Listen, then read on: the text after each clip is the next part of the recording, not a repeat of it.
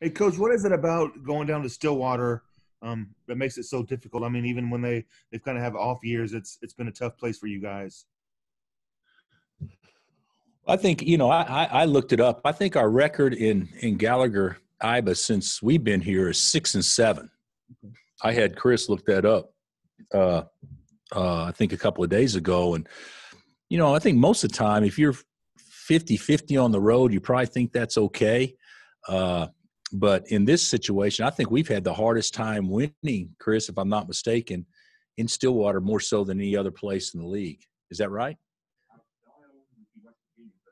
Yeah, West Virginia maybe. So so so so uh, I think we're about 500 there. So yeah, it, it, has been hard for us. I, I, you know maybe some of it's my fault uh, uh, early on, especially maybe uh, putting too much pressure on the guys that I really wanted to win there. I don't know, but but uh, I think that they get pretty amped up to play against us, and and uh, you know they've had really good players and they've had some good teams, and so uh, we know going down there today we're going to be playing against a team that's you know if you look at their three losses.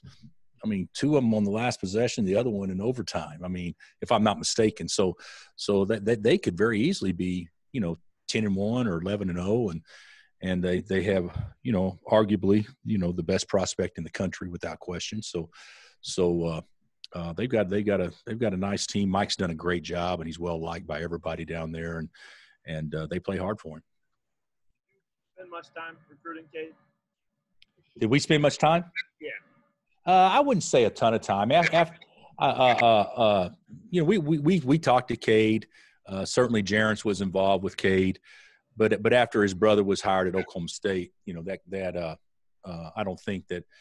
Although I know other schools were in there till the end, we we, we weren't one of the ones at the finish line though. Uh, uh we felt like we could probably put our time and energy energy into uh, into others that that maybe uh, had a better shot at getting. But but he's he's certainly worthy of all the accolades that's been thrown his way so far. What stands out about him? What, what makes him uh, I, I, think what I, I, like about him the most is he's a player. He's just a basketball player. He's he can play one through four, maybe five. He uh, he rebounds his position. He's got size. He's got unbelievable vision. Uh, he can score at all three levels, uh, and he's got great pace. And and and he's the game's in slow motion to him, uh, which is very very difficult for most young kids to feel like. I think if you ask most freshmen, the game's in fast forward and he's got it in slow motion. So I, I think that's a, a, tribute to his IQ and his feel and and uh, also his talent. Bill, it's not uncommon for you to have great depth. Uh, this year, you've got ten guys that have uh, each at some point in time been major uh, parts of, of, of games. Uh, just can you talk about you know, having 10 guys and uh, does that help you? Because I know you like to kind of trim it down at the end of the season. Well, you, you know what, Dave? I, I think that uh, I think we got good depth, but I don't think our bench has played anywhere close to like they're capable of playing. Uh, we've had we've had flashes, you know, when when, when uh, we played at TCU, you know, you had uh, obviously uh, uh, Tristan and Mitch and and and Juan, who was a starter that game, but those guys came in and and you know all played terrific. Uh, but I don't think we, we we we've had very many games where you've had two or three guys on the bench uh, really produce in a way that would be comparable to the starters. I know against Oklahoma, uh, Mitch did, but uh, but other than that, I don't. I didn't feel like anybody was a major major contributor to their talent level. So I like the fact that we do have ten guys that we can put in there. Uh, of course, and we haven't had Bryce since since uh, since Christmas. But I don't. I, I, still think there's another gear we can get to to to perform better and to rest the starters more minutes. Uh, uh, you know, this this is this is probably on me more so than anybody else. But but but Christian and Ochai don't don't need to be playing 37 minutes a game, uh, and Marcus 32, uh, uh, whatnot. Uh, uh, and the only reason Jalen didn't play more on on Saturday was just probably because he had a rough first half. But uh, you know that, that that that's not really utilizing your bench in the way that I that, that I had envisioned. Has Tristan taking advantage of this extended? I, I, I, am sorry, I can't hear. Can, can, you turn that up, Connor? Is that possible? Is it all the way up? Okay, can you guys uh, speak up Okay, I'll try again. Can you hear me? At now? my age, you got me now. I got you. I got you. Just with, with this extended opportunity that Tristan's gotten since Bryce has been out, have you seen him take any positive steps forward? Um. Sure, sure. I thought he was terrific against TCU. Now I didn't think he was as good the other day. Uh, you know, you know, every scouting report's going to say it, but you know, he gets he gets backdoored too often, too every game, twice in the same game against OU, and you give up easy baskets and you don't create them on the other end. That that that that's hard to overcome. So I, I do think that he's he's still got another year and get to, but I do I, I think he's made the most of the opportunity, and I think he's played well for the most part. I just think there's some plays that he makes that that if if you go back and watch tape, you know, a mental a mental screw up I think affects him in a way that that maybe could affect his aggressiveness moving forward, and, and we got to eliminate those. Hey, it seems like Mitch is starting to play uh, more consistent minutes lately. What's what's led to that? Well, we played big. You know, I don't know that we played small. Uh, one possession in the last two games. So you know, if if if we do that, then that means that David and Mitch are going to split time at the five. So I, I, think that had a lot to do with it, and I think we're actually.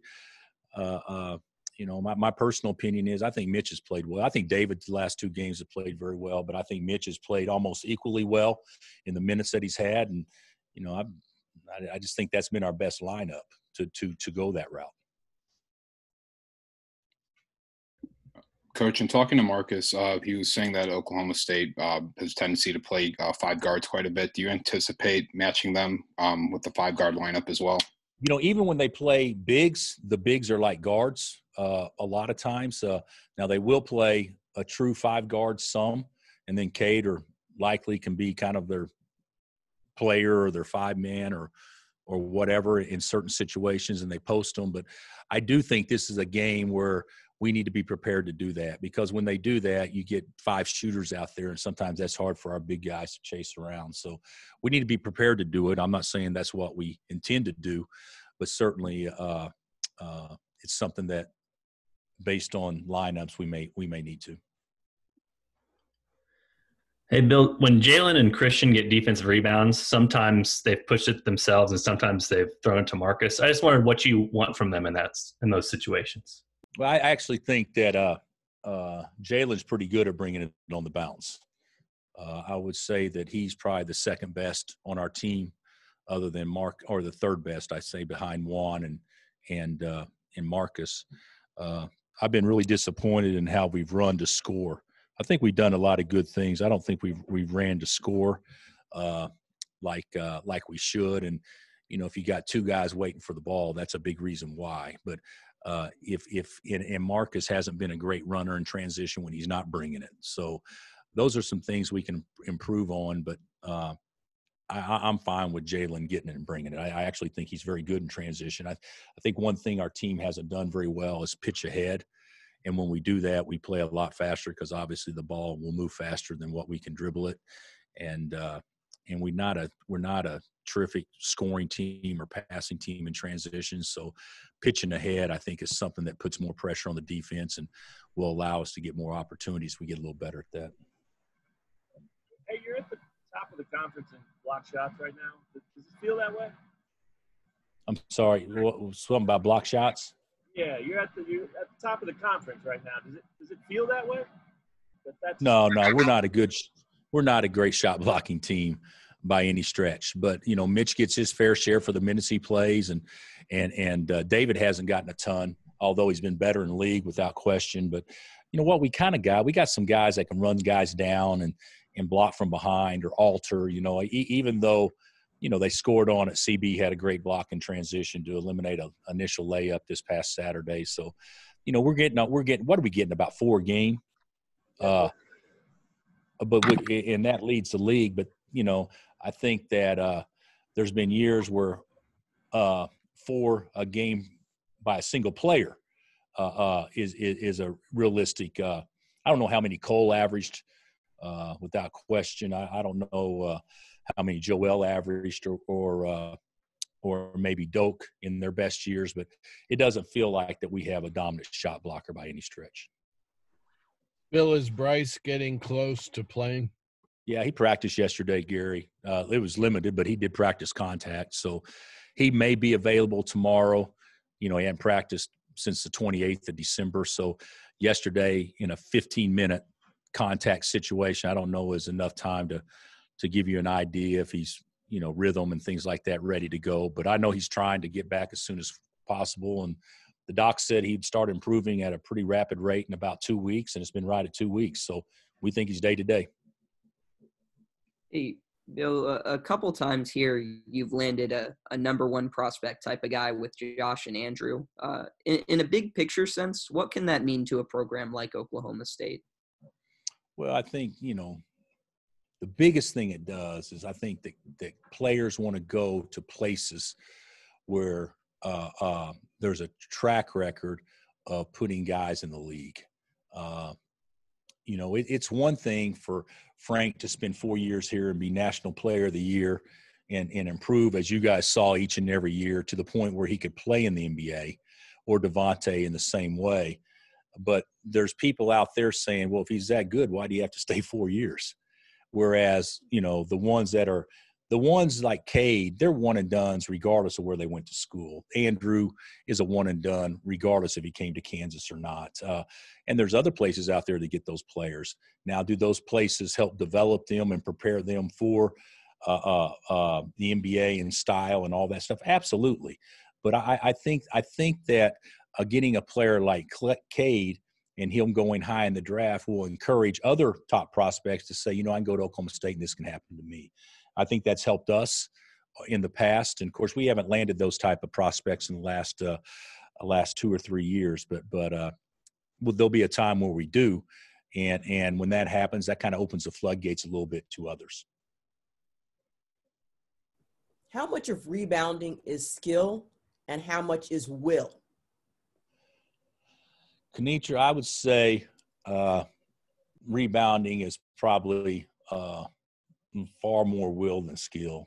Uh, I think that there is some technique that goes into it that knowing how to wedge or knowing how to spin and get half the pie, uh, you know, things like that, knowing how to read uh, the ball when it leaves a hand, whether you think it's going to be short or long. You know, there's our guys that are very good at the, good at that, but most of it is is activity and and always be moving and, and put yourself in a position where you it's a 50-50 ball every time that you're on offense. And if you do that there'll be 50% of the balls that will bounce your way.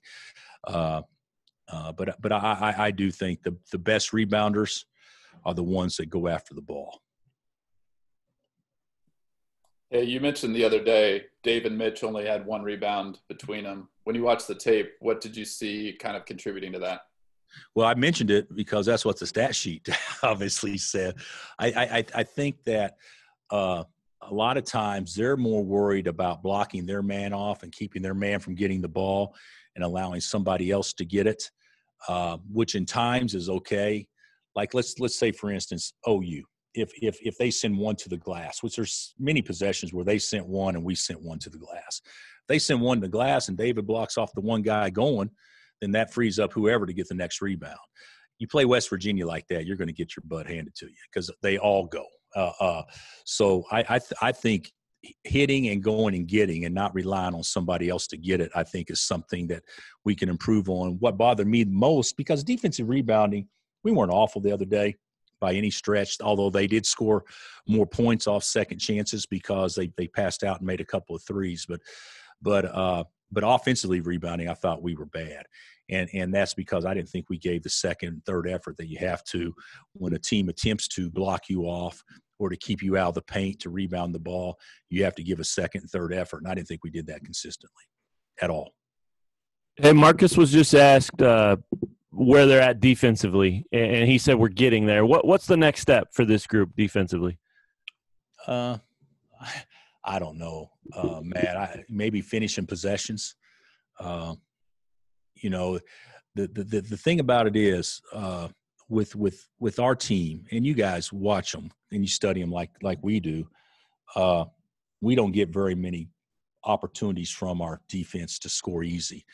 For instance, OU scored in the first half three uncontested layups, basically, off of our offensive miscues uh, when a when a when an opponent has an offensive miscue against us, uh, it seems like we're not we're not we're not converting on that, or we're not even stealing the ball. There were twice in the game against OU where they gave us the ball and we weren't prepared to take it uh, because we were slow reacting. That's the kind of stuff that our activity levels got to improve, and certainly positioning. I don't think we're awful positioning wise.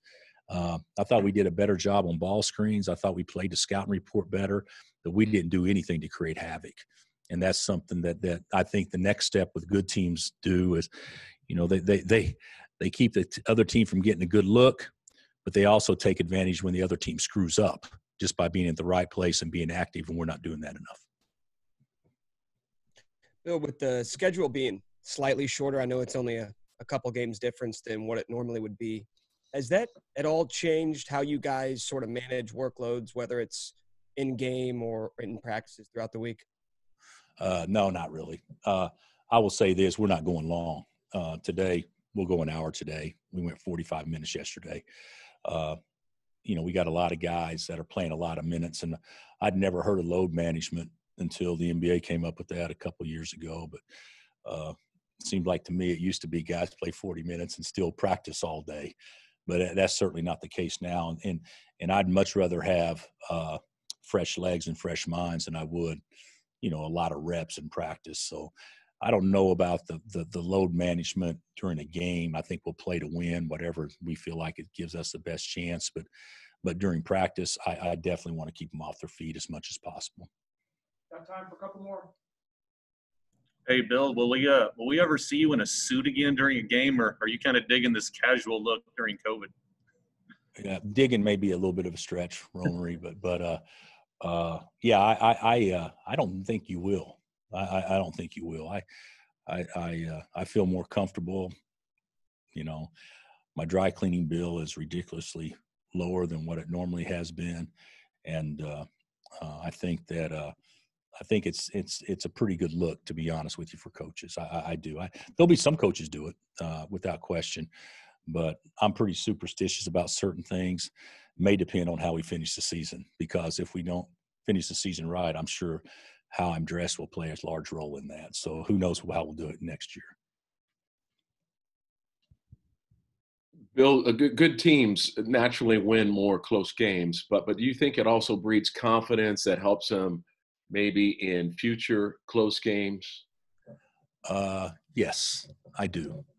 But I also know when you play a lot of close games, you're you're you're you're messing with fire. I mean, uh, you you play a close game, a team takes a bad shot that goes in, you take a good shot that doesn't go in, and game over. Uh, so it, it doesn't always play percentages right, where the team that plays the best down the stretch actually wins but but we we've we've been you know knock on wood we we've been pretty good so far in in one or two possession games uh, thus far, and so uh, I do think it gives you confidence. I also think this. Uh, I don't think you want to play too many of them. Uh, um, um, Billy Tubbs told me a long time ago. He asked me in 2008 how many close games that we played, like you know under five points or whatever. And I told him like six or seven. He said, "Good, you're not tired."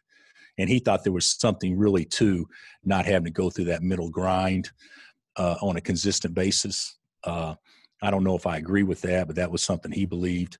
And uh, uh but I, I, do know this: it would be nice not to have to sweat sometimes, and and and certainly we haven't put ourselves in enough situations where that's the case. Uh, uh, but it is good for us, Dave, no question. Rather play them than not play them and, and have success. But I think over time, I don't think you want to be doing it twice a week. All right. Thanks, Coach. All right, guys. See you. Thanks.